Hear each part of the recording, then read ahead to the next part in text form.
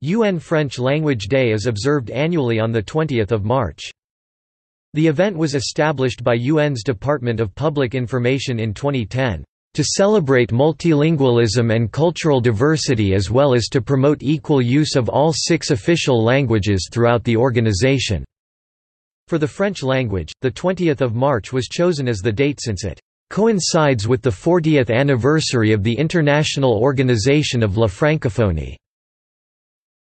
A group whose members share a common tongue, as well as the humanist values promoted by the French language. Other dates were selected for the celebration of the UN's other five official languages. References.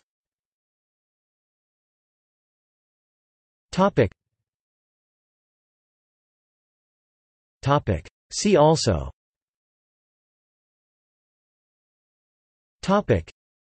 International Mother Language Day International observance Official languages of the United Nations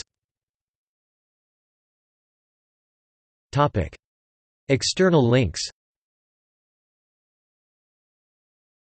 Topic. UN French Language Day official site French